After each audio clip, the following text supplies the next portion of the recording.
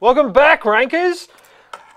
Doing another experiment this week with Periscope, and uh, we've got the Periscope people over here. Uh, Periscope people, if you can uh, wave or give us some, some love, some hearts, because you're in the weekly show. You're talking to YouTubers now. Don't make me look bad. No hearts, no love. Anyway, they're there. They'll come. There was heaps of hearts before. There's no hearts. Ah, I got a purple heart. See, so this is live, right? So we got uh, live people here on Periscope, and then everyone else over here. So I'll just put you guys over here for the minute. Okay. So we're going to have a look at another tool this week and got some really good feedback on the tools last week. Incidentally, I've got a conversion rate optimization story which I will share with you next week because uh, I'm just waiting for the for the data to come in. But it's a pretty funny one and it's a pretty good one. So uh, and it's a really good lesson. So I'll share that with you next week. I was hoping to this week, but I still don't have the data. So this week I thought I'd have a look at a couple of tools. Uh, well, one in particular that I use all the time. But before I get to that, I just wanted to tell you about this important webinar. Dun dun dun. Uh, we've got Vandana and we've got Courtney here uh, talking about Magento and basically uh, how to get Magento to the point where it's great for your PPC and it's fantastic for your SEO. Um, it is on this Thursday, so it's in two days' time. I'm just going to turn the uh, Periscope people around so that they can see the URL. And it is at SEO traffic, eh, sorry, SEO hyphen traffic dot leadpages.co forward slash webinar Magento forward slash. So it's on in two days' time. So if you're around, if you are on Magento, then please get along uh, to that webinar. It's completely free. Not going to flog you anything at the end. Nothing like that. Um, we just like telling people about stuff because you'll tell others about our stuff as well. Uh, let me just make sure we're still on camera for. Yeah, we are. Just. Still on camera for Periscope people. All right. So, this tool that I like to use is one called Search Console. Now, it's not just all the normal things that you would see in Search Console. I like to use a thing called Search Analytics. So this is one of the uh, sites I've been working on for the Bloggers SEO product. And thank you to everyone who's registered uh, for bloggersseo.com. And uh, and basically we've got the beta test underway now. I know some of you are still um, uh, waiting for a bit of communication there, so we'll get that to you quite soon. Uh, and this is the one of the sites we've been working on and you know we got her onto the front page for her main hero phrase and waiting for it to waiting for a couple of more changes to be implemented to get it up to the next level. So I'm hoping in the next week or so it'll be up around sixes and fives. Now you might think, oh, fives and sixes, sixes and fives, that's not very high. Uh, but for the competition that she's up against for this phrase, it's actually excellent because if I show you, I'll show you what I mean. So the phrase is healthy Thermomix recipes. And we'll come back to this curry, because I know you all like curry. Hey, do you hear about sausages? I'm a veggie. Vegetarian sausages apparently have human DNA and some meat in them. Story was out today, I read it on the internet, so it must be true, right? Okay, so healthy Thermomix recipes. On the other hand, bacon can kill you bacon can give you cancer. That's what it said on the internet today. So, healthy Thermomix recipes. You can see here we're number nine. We've been stable. Um, we're using our SEO Trends tool here. You can see these two have dropped, but this one's gone up two spots. So, I think in this situation, by using the SERP Trend tool, we can say, well, quirky cooking's probably being rewarded rather than the, these two sites penalised. Um, but you know, the Skinny Mixers hasn't moved from number nine. Sort of sat there for about a week now. I'm hoping it will go above these and end up somewhere around the, the Pinterest. I'd like to go above the Shrinking Hubby and Changing Habits and sit at number three eventually. But uh, from number nine, I don't think we'll go from number nine to number three. And the reason I'm saying threes um, ultimately is because up the top we've got the authority uh, Thermomix recipe site, which is recipecommunity.com.au. So if I if I can get in somewhere around here, oh my god, awesome. So how are we going to do it? Well, we're at number nine, and what I want to do is just have a look and see what's happened to Thermomix phrases with Skinny Mix. Now we're in the search traffic area in search analytics, and I've just done a, a filter of my queries only to show words uh, that have Thermomix. And what I'm, I want to know the impressions because the impressions number gives us the opportunity number, if you like. It's what uh, you're not going to get all of those impressions, even if you're number one, two, and three. You still won't get all those impressions, but you'll get a good slice of them if you're in the ones, twos, and threes. And then I want to have a look. You can see there the difference between clicks and impressions. Incidentally, this clicks number is never right. It doesn't marry up to the Google Analytics clicks from Google Organic Search. So you've got two tools saying completely different things. Uh, so this one, what I want to do is have a look at the impressions, but I also want to have a look at over the last 28 days uh, how have we increased the traffic for Thermomix phrases? Uh, so you can see here the uh, the blue line. I'll just turn clicks off so it's less confusing at the moment. I'm just looking at impressions.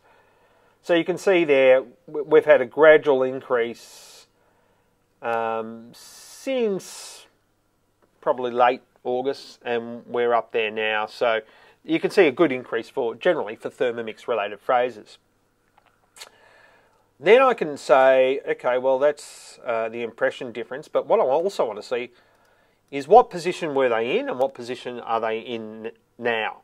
So now I've got the two columns, or four columns. So I've got uh, col two columns here for the impressions and two columns here for the position that were, they were in. And what I'm looking for is the opportunities and or uh, what's uh, up and coming. So what I can say is one way you can do it is to say, um, so a month ago, show me everything that wasn't ranking, and you can see here we've got a number one for this Zadar chicken Thermomix, which we didn't have last month, or no one searched for it last month. Either could be true, both could be true. Uh, Thermomix curried sausages. That's interesting. Nothing last month. It says rate 8.2 and there's 182 searches for it. So, you can see here we've got a couple. Coconut curry sausages Thermomix, number four. There's been 15 searches on that. Um, okay, curried sausages. Thermomix, 20. We're at number four, nothing last month. So you can start to see a pattern. All of a sudden, we've got sort of sausage Thermomix recipes coming up. So what I want to do now is I want to have a look at Okay, well, of those, what, which of these phrases got the largest impression? So, butter chicken Thermomix, absolutely stunning. Not much change in rankings over the last month, uh, and not much change in impressions. But the word Thermomix, so you look at that, and these are average rankings, by the way. So you might be number one in Sydney, uh, but you might be number 15 in Melbourne. So these are an average of everything that where you're ranking for, or sorry, these are an average of the number of searches that were done and where you ranked at the time those searches were done.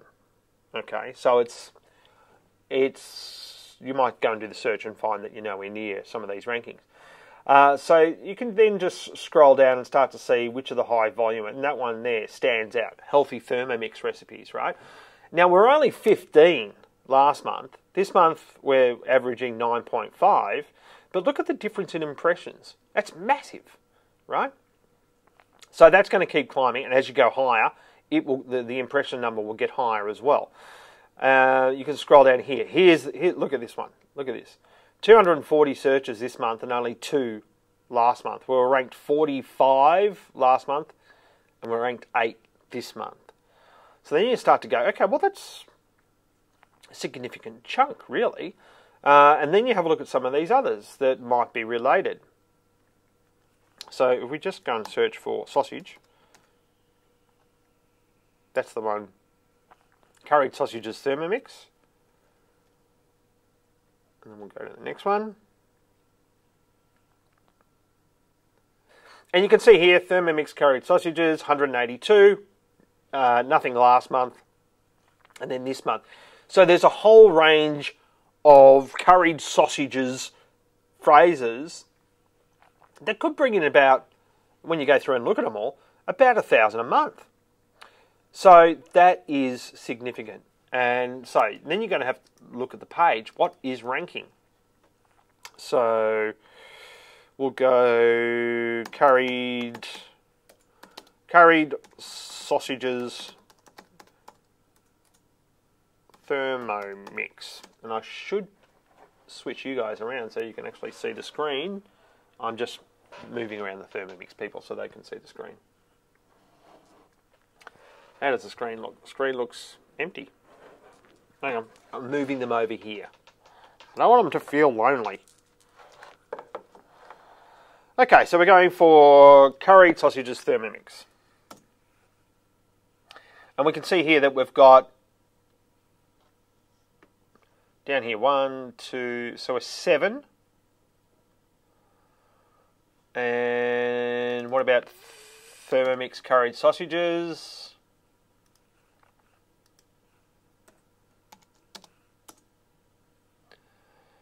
Do, do, do, do, do, do. It's about the same. About the same. So, let's go and have a look at the page. And what we can see with this page is that it doesn't have the word Thermomix in our H1. And because of the style of the headings, and I've spoken to skinny mixers about this, and because of the um, the way that they publish on skinny mixers, it's called skinny mixes coconut curried sausages. I don't like that. I want to call that Thermomix coconut curried sausages. Probably going to have to have an argument with the blog owner though. They may not like that very much. But things like this. Look at this. Look at this image. Um, it is called image underscore 2005.jpg. So that's come straight out of the camera and been uploaded into WordPress. And the file name hasn't been changed. So I need to change that.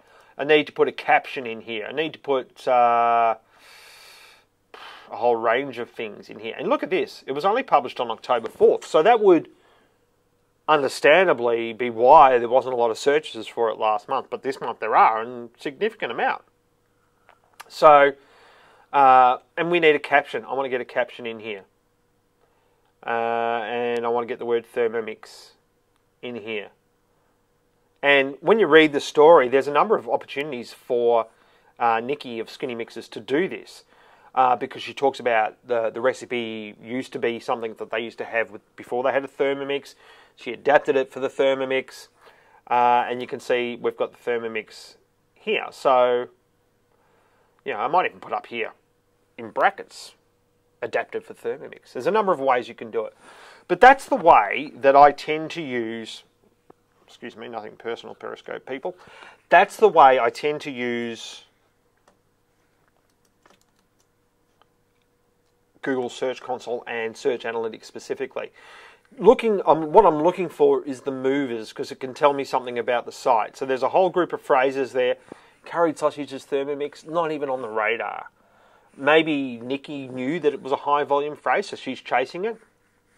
But you can come in here and you can see all sorts of things where you, you, there's no other place to get this data. You're not going to get it from the Google AdWords tool.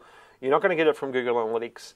Uh, you're not going to get it from Google Trends, but you will get it here. And I can tell you right now is that if you work on it, like this butter chicken Thermomix, where we're still number four for that um, I don't know whether there's a lot more impressions, even if you're ones and twos. But certainly, curried sausages, there's a lot there. Hopefully, that's helpful. We'll see you next week. Thanks very much. Bye.